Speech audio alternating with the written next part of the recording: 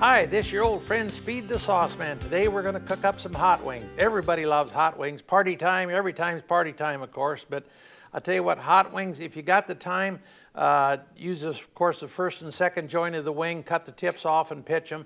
But uh, if you've got the time, make a brine. And what I use for a brine is I use a, a quarter of a cup of our cookies flavor enhancer and all-purpose seasoning.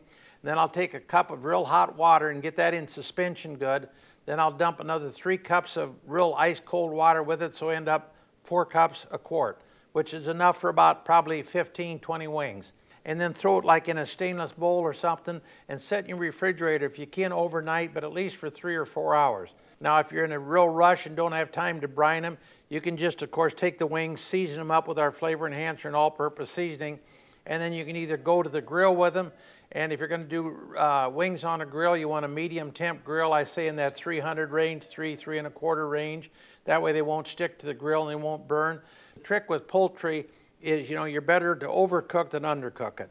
So uh, that's kind of an easy way to do it. But you can also throw them in a 400 degree oven, season them, throw them in a pan in a 400 degree oven for about 25 to 35 minutes, and, uh, and they'll be good to go.